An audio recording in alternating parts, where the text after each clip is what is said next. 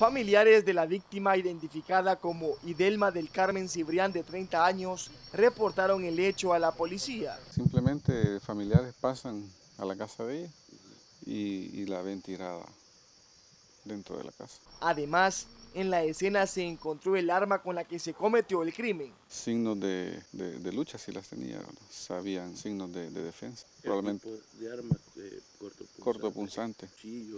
Por el momento se puede decir que es un arma cortopunzante corta, un cuchillo. Ah, se encontró en la escena. Sí.